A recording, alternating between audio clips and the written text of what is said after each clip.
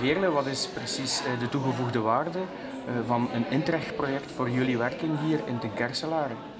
Wel, het Interreg to CIS project biedt ons organisatie een grote meerwaarde. In deze projecten zetten we vooral in op intersectorale samenwerking en uitwisseling van expertise over verschillende sectoren, zoals geestelijke gezondheidszorg, personen met een beperking, maar ook ouderenzorg. Uh, ook samen bouwen aan kwaliteitsvolle zorg voor de toekomst, een AHR-beleid uitwerken, een betere work-life balance, meer betrokkenheid en meer initiatief. En binnen uh, alle voorzieningen van Emmaus willen we uh, een inspiratie zijn. Moest het, moest het Interreg-project als dusdanig niet, niet bestaan, wat zou er niet mogelijk zijn uh, om hier lokaal te doen?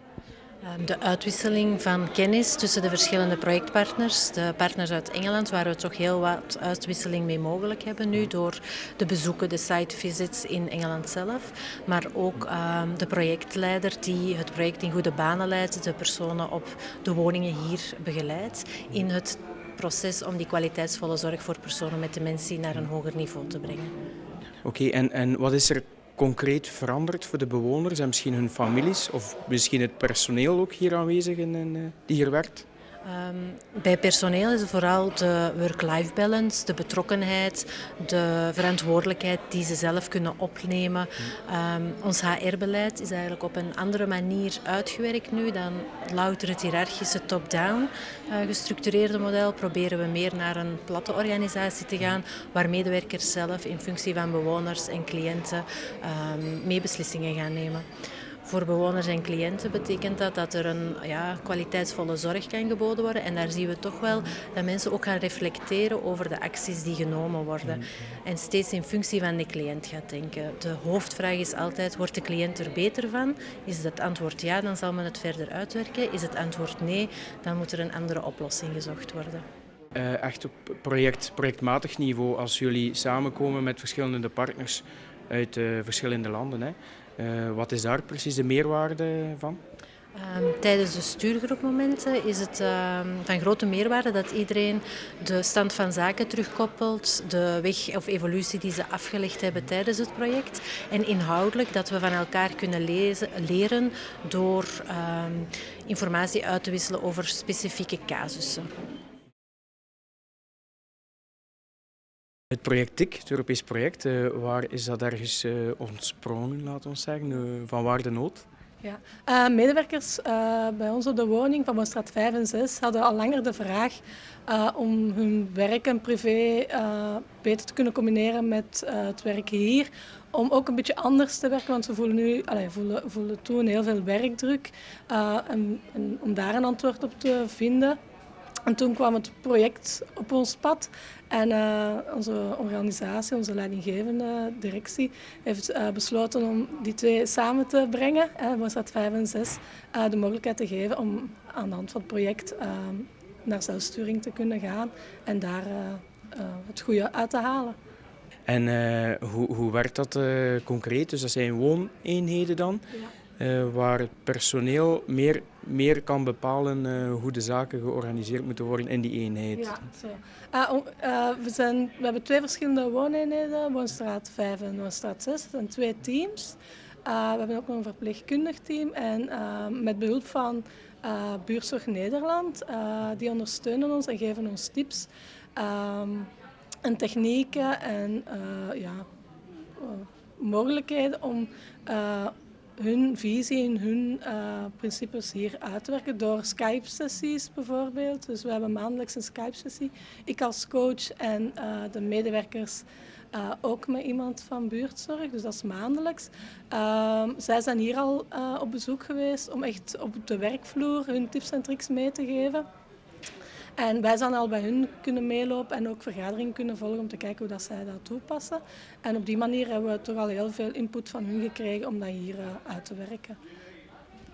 Oké, okay, en zijn er nog punten dat je ziet voor het einde van het project? Dat je zegt, daar gaan we nu nog op werken of dat willen we nog concreet uh, verwezenlijken eigenlijk? Ja.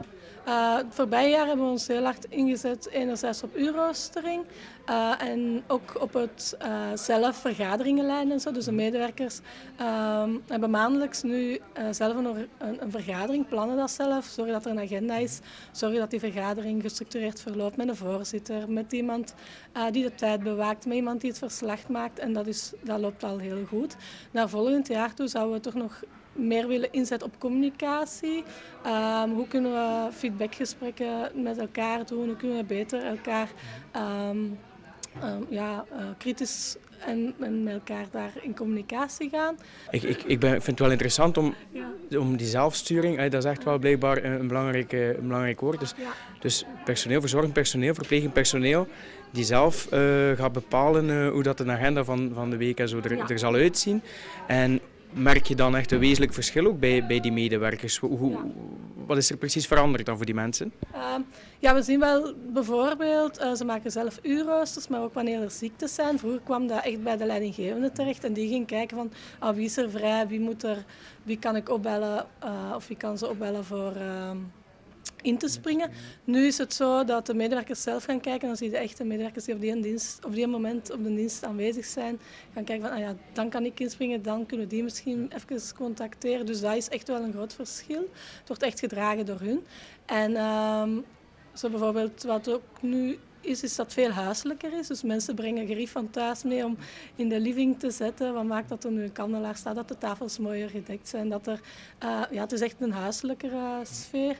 Uh, en ook wanneer dat er gewoon alledaagse problemen zijn. Ze komen dan niet meer aan de leidinggevende zeggen, maar ze gaan met elkaar in communicatie en zoeken uh, veel korter dan vroeger. Hebben ze de mogelijkheid om uh, oplossingen te vinden. En dat is wel heel mooi. En dat is echt wel in de praktijk dat we dat zien. Dus dat is wel... Dus ja, de, je geeft inderdaad heel veel verantwoordelijkheid aan, aan het personeel. Ik kan me inbeelden dat dat eventueel ook wel wat, wat extra risico's of uitdagingen uh, met zich brengt. Kan je daar misschien iets over uh, kwijt? Ja, het is heel belangrijk dat de organisatie heel veel vertrouwen heeft in de medewerkers. De medewerkers zijn nooit niet geschoold om zelf ja, zo ver na te denken. In de lagere school en middelbaar heeft de juf altijd gezegd wat dat ze moesten doen. Sommigen werken hier 30 jaar en heeft altijd leidinggevende gezegd wat ze moeten doen. Uh, en nu wordt echt van hun verwacht van zelf naar oplossingen te zoeken. En uh, het is niet altijd zoals de organisatie wil dat de oplossing wordt gevonden of wat de organisatie zelf voor ogen had. Maar uiteindelijk vinden ze wel een oplossing en dat is toch wel het hele mooie. Uh, dat er gecreëerd wordt. Ze zijn soms wat creatiever met hun oplossingen ehm, en dat is wel fijn om te zien. Hallo Stefanie. Dus uh, uh, sedert de komst van TIC, van het Europees project, wat is er voor u veranderd uh, in de wooneenheid, in de dagelijkse werking, laten we zeggen? We hebben meer verantwoordelijkheid gekregen. Vroeger lag de verantwoordelijkheid van heel veel dingen bij onze team verantwoordelijk teamverantwoordelijke, maar uh, sinds het project hebben wij eigenlijk ja, zelf de verantwoordelijkheid om veel dingen te doen. Eigenlijk moeten we alle taken doen dat zij vroeger deed. Uh, dus dat is wel een meerwaarde ook voor ons, maar ook voor ons uh, bewoners eigenlijk. Eh, omdat er meer zorg op maat kan gegeven worden en directer op de bal kan gespeeld worden. Omdat jullie de sturing kunnen geven en jullie staan natuurlijk veel dichter bij de ja. dus jullie zien de noden veel beter en kunnen meteen... Ja, ja. dat klopt. Um, wij staan ook dagelijks op de werkvloer, dus wij weten ook beter wat onze bewoners nodig hebben. Uh, als er zich problemen voordoen, kunnen wij daar direct eigenlijk op inspelen. Uh, vroeger moesten wij voor bepaalde dingen uh, toestemming gaan vragen aan de teamverantwoordelijke, maar nu kunnen we dat eigenlijk direct in ons team bespreken en dan kunnen wij dat ook direct toepassen. Dus ik neem aan dat de, de, de, de teamverantwoordelijken en, en de directie heel veel vertrouwen moeten hebben dan ook in, in het personeel. En dat kan misschien dan ook wel nodige uitdagingen of risico's met zich brengen. Het is een grote uitdaging geweest uh, en nu nog altijd voor uh, met dit project te starten. En we zijn ook heel blij dat de directie en ons teamverantwoordelijke ons uh, die vertrouwen geeft eigenlijk. En ja, ze vinden wel allee, dat we het heel goed doen, dus dat is eigenlijk wel een boost om ermee door te gaan.